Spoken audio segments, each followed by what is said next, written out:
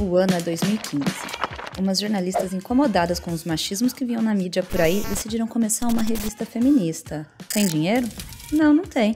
Então bora vender pinga na parada LGBTQIA+, vender uns milhos em festa junina e fazer vaquinha. E não é que teve 600 anjos que chegaram junto e ajudaram a gente a colocar de pé a revista Mina? Pena que nenhuma das jornalistas entendia de negócio. E um ano depois, a gente tava exausta de trabalhar durante o dia para pagar as contas e fazer jornalismo independente nas horas vagas. E por isso o que, a gente decidiu? Isso mesmo, lança livro, bolsa de reportagem. Só faltou abrir igreja, né? Porque bota fé nesse jornalismo feminista, viu? Pronta para pular para 2017? Olha, a gente ganhando um monte de prêmio. Estrutura não tinha, mas tinha reconhecimento. E o barulho foi ficando tão alto que onde a gente chegou? Em Paris? Não, não, na Damares. A ministra denunciou as minas por causa dessa matéria que a gente fez. Isso virou uma investigação doidona. Quase paramos na cadeia, menina.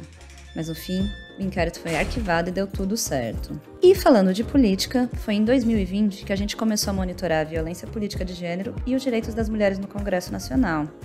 Achou que é pouco? Então tá, toma podcast, vídeo semanal, documentário e o Penhas, nosso aplicativo para amparar mulheres em situação de violência doméstica.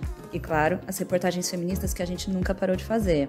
Hoje as minas têm escritório, uma equipe, salário em dia. Nada disso de mulher ser mal remunerada pelo trabalho que faz por aqui não. E tem muito mais vindo por aí, porque a gente não cansa e tem as melhores e as mais feministas leitoras apoiando o nosso trabalho.